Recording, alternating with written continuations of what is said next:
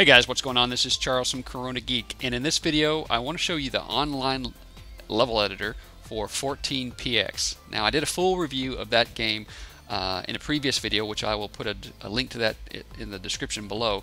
But uh, we're not going to go through the game so much here, as we're just going to show you the online editor and how you can access it from within the game, so that you can extend your gameplay and share that out with your friends.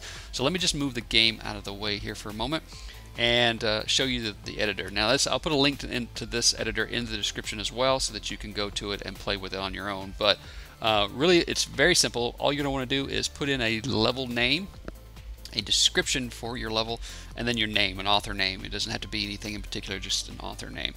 Uh, then from there, you've got all the different items that you want to, would want to add to your platformer. Uh, there's things like just you know your basic ground. You can have different uh, objectives to hit, like uh, collecting orbs or, or, freeing your friends.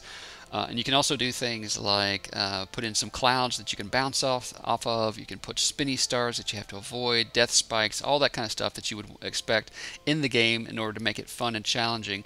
Um, so what we're going to do here is I'm just going to show you kind of how this works. What you do basically is you're going to want to mouse over each one of these things, familiarize yourself with what they are and what they do, and then just pick one. So let's just pick some grass, uh, and then we'll go back up here. Now the, the whole map is laid out into a grid, so really all you have to do is pick the item that you want to place, and then go over here to the grid, and just tap on those areas that you, where you want that to be.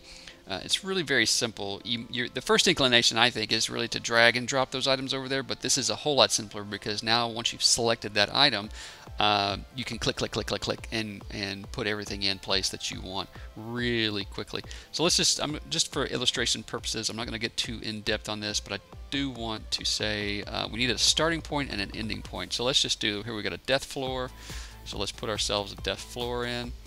Uh, I'll make it really easy on myself and then I'll put in some more of this uh, just to give it some some uh, some length. And then what we're going to want to do is choose our player and we're going to want to mark our starting point. And then at some point we're going to need an end tile because we want that to be the end of the game.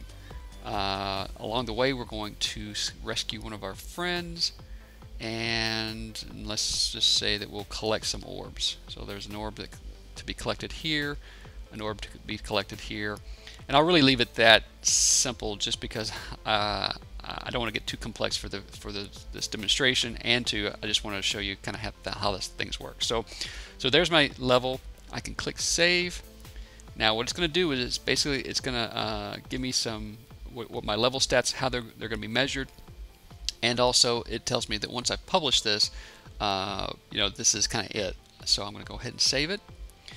And then I can share that level so I can get the code. Now that gives me the code for it. So what I'm gonna do is I'm gonna come back over here. I'm actually gonna swap screens out just so I can see what's going on here. But I'm gonna open up the game.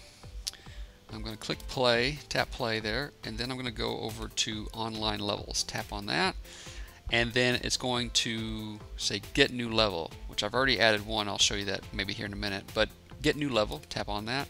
And all you have to do is enter the code that was shown to you on the website. So let's just say 7325592 and then go. What that's going to do uh, unpublished level when you're ready okay? So I'm going to go ahead and test the level. Alright and so it starts me where I said I wanted to start. And then from there I can oh I can run right into the death floor.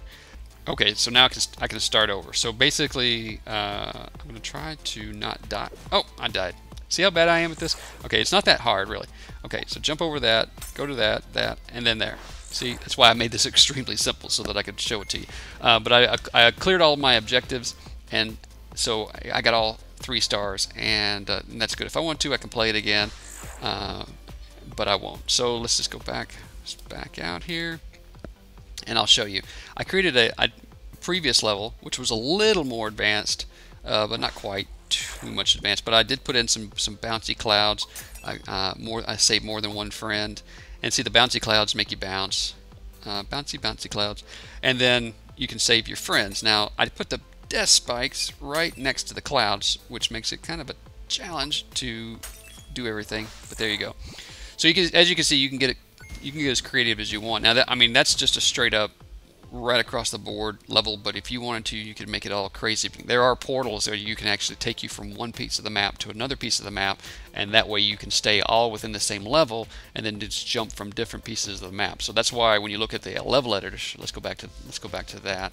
When you look at the level editor editor it's so large you is because you can actually use that whole entire area uh, for whatever you want to use it for because again it's it's, it's kind of takes place in the in the in the clouds uh, if you will uh, and each platform is sort of independent of the others.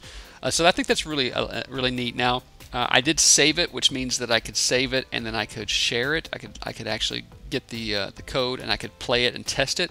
But if I want to go ahead and publish that app or publish publish the level rather to share out to ever other other people then what's going to happen is that that level is going to become fixed and I won't be able to go back in and edit it again which uh, I, I'm hoping that eventually you'll be able to copy levels or be able to make a level locked or unlocked and so that you could edit it again. Uh, but for right now like I said the level editor is in beta so it's that feature is not available uh, at this moment. So you know there are some there's room for improvement for, for right now I think this is a great way to extend the gameplay on the app and keep it fresh and make things fun. So if you're looking for something like that, uh, be sure to go check out the full review of the 14px game, see how it works, see if you like it, and if you do, definitely go check it out. I'll have a link in the description below for everything that I've talked about, and uh, yeah, go check it out. It's a great game. All right. So thanks for watching. Thanks for supporting Corona Geek, and I'll talk to you later. Bye.